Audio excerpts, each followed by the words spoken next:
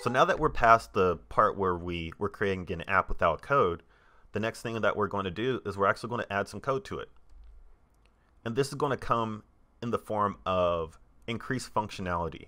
And so the only reason we're adding code to this is to make the experience more interactive. Because right now we're able to add stuff to uh, the real world with AR, but now the next step is to essentially gamify it. And so one thing that I will do is we're going to look at our app and we're going to right click. We're going to go to UI. We're going to go to Canvas. The next thing we're going to do is we're going to go to, uh, we're going to right click on Canvas. We're going to go to UI. We're going to add a panel. And so when we double click the canvas, it takes us out to this big screen. So all this screen is is just mimicking our the size of our screen for our uh, mobile device. And so anything that we change here is going to be overlaid here. And so with that, we will go through and we'll click panel. And in the panel, we're just going to make this transparent. And so we will go to panel, we'll go to color, we'll click color, and this A right here, this is alpha. So alpha is our, our opacity. And so if we go to the right to 255, it's going to make it completely white. If we go and turn it to the left and make it zero, then it's going to be completely transparent. Um, and that is exactly what we want. So we want to make it completely transparent. Actually, no, we'll actually make this uh, completely white just to just to allow us to hide some things. And so from there, we will go up, we will change the rect transform of our panel. So with the rect transform of our panel, we'll just select it. And then from there, we're going to click shift and we're going to click alt.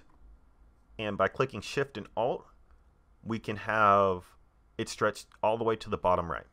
So we're going to click this uh, hold to the bottom and have it stretch from side to side, just like that. Just like that anchor. And so from there, all we have to do is resize it. And so we'll resize it by going to our rect tool right here. We'll click that. And you'll notice how it adds these four dots to the transform tool or to our panel. So we'll actually just find where these arrows appear and we're just going to drag this down like that. So I would say I would say about 270. Let's say about 270. Just like that. So we have our panel. Our panel is there. And then we have or we have our canvas. Our canvas is our main screen. And then we have our panel. And so we'll actually just save that there. So within the panel, we want to have some sliders. And those sliders allow us to rotate our our model. And so we'll right click, we'll go to UI, we'll go to slider, and we'll actually zoom into that slider by double clicking. We'll zoom out a little bit. And it's it's really small. So in order to make it larger, we'll go to the scale tool, which is at the top. We'll click that and we'll just scale this up. And you can use cross-reference uh, how this looks from this as well. So we'll just scale it up.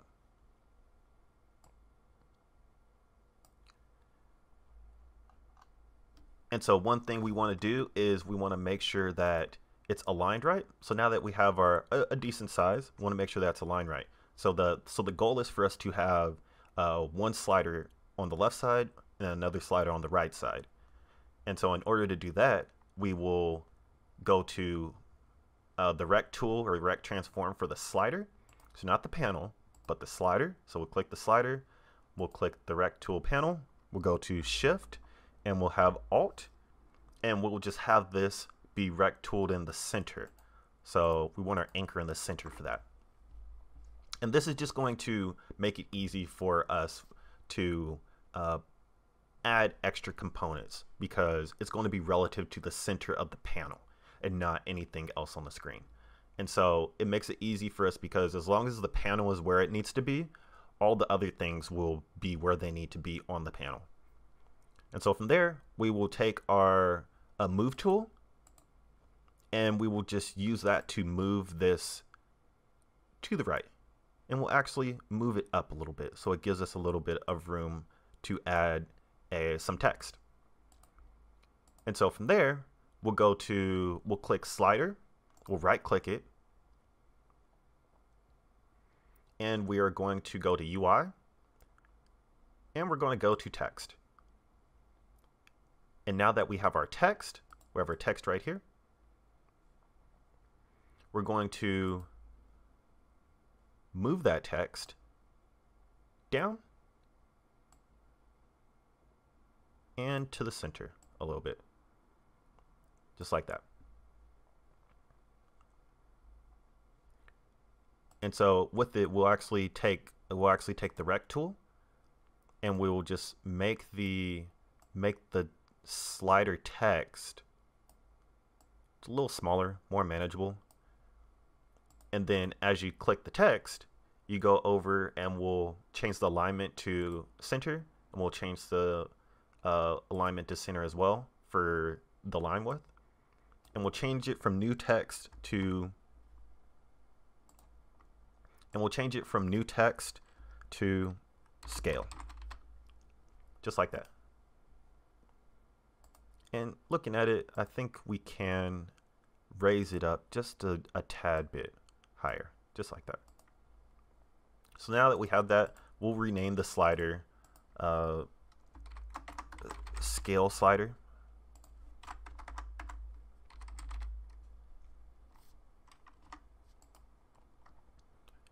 And we have our slider set up. So next thing we do is we could just duplicate that. So we'll go to right click, duplicate, and we will just move that all to the left. And because we have it center aligned, these both are going to be at the same distance. And if the screen scales or anything, it will not mess up the the way it looks. And so with this, we'll change this to rotate. And then we'll change the name to rotate. So now we have our scale slider and we have our rotate slider. Just like that. If you want to add some like other UI bells and whistles, you can. But uh, but this is really the, the basic functions that we need is to make it go bigger and smaller and then to rotate. So we'll go to save and we'll go to save project. So one thing that you want to do is when we have our canvas, you want to make sure that it says constant instead of it saying uh, canvas scaler constant pixels you want to make sure it says scale with screen size so by scaling with screen size it allows it to adapt to the screen size that we have and make those references and so ours is 1920 by 1080 and so we have our screen size already set up so as long as you match it to the width and the height you have everything, everything should be good. So you want to make sure that you do that because uh, if you don't, then depending on the screen size that you have uh, for your phone, which will probably not be 1080 or 1920 by 1080, it will make things just look very weird. And we don't want that. And so again, scale with screen size, uh, match the resolution to the resolution you have in your game view. If the game view is 720 by 1280, make sure to match it with that. So these two should be the same. And then you want to make sure to either have the match to be uh, 50, so 0.5, or you could do it to 1. I suppose I like to do 0.5 for my match. And then, again, you save your project. Save that project. So that is how the UI is made and often that that's really all you need for UI. You could go ahead and do stuff with Photoshop. You could make all these uh, elaborate sort of designs and add these to your experience. uh, to Im- improve the experience. And I think that's the beauty of developing an app like this is that it's not just you don't have to be a coder, you don't have to be an artist, you don't have to be a 3D modeler. You could be UX UI design. You could do all these different things that allows you to uh, still express yourself, but still within the confines of using AR and using tech and using art. And so it's this happy medium of all these within one package that uh, really is is often difficult if you are in a particular area of tech.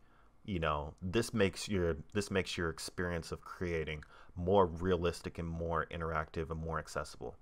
And and that's really what I enjoy about it.